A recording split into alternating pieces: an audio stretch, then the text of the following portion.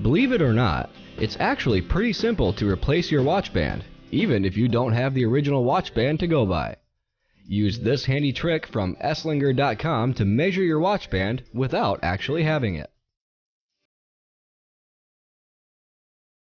The tools you'll need to measure your watch band are a pencil, a piece of paper, a pair of scissors, a ruler, tape, and an optional digital gauge.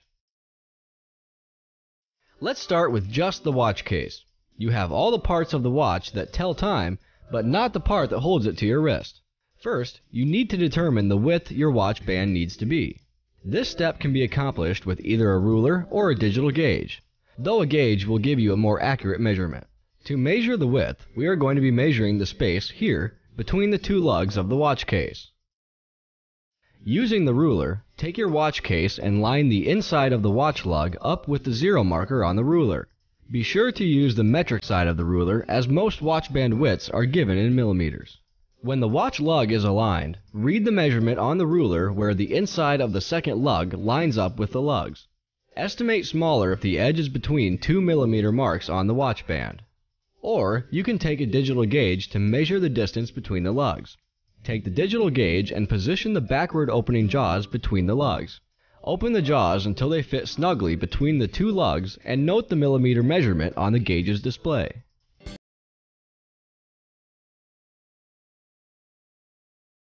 After you have determined the width of the watch band, you need to determine what length will fit you.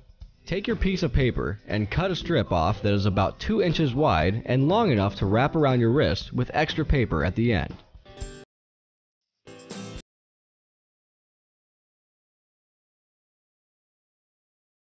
Lay your watch case in the center of the strip of paper and mark where the spring bars would sit with the pencil.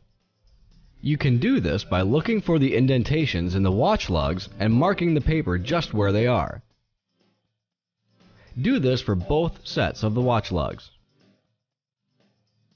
Using your ruler, draw a straight line between the marks you made to indicate where the watch case would be.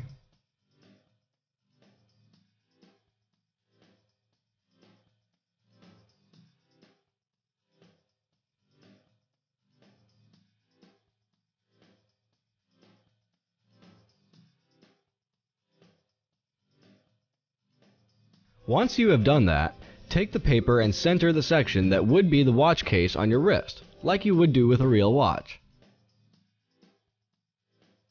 Tape one end of the paper to your wrist to hold both the paper to your wrist and the watch case centered on your arm.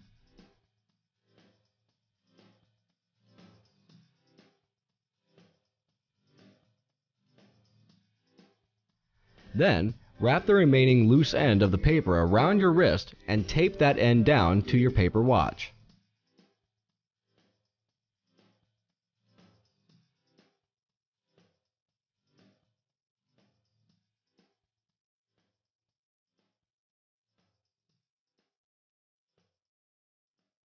When the paper watch is secured, flip your arm so your palm is facing up and draw a line down the paper in the middle of your wrist to mark where the clasp would go.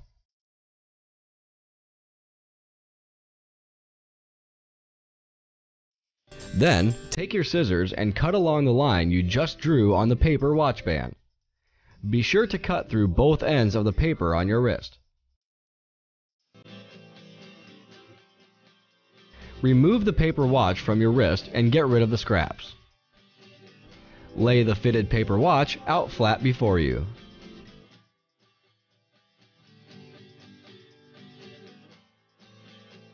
Now, cut the watch case portion of your paper strip out, leaving just the band portions in front of you.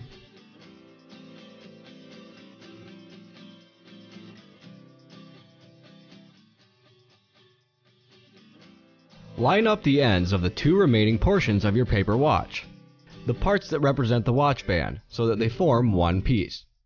You can tape them together if it's easier to hold them lined up that way.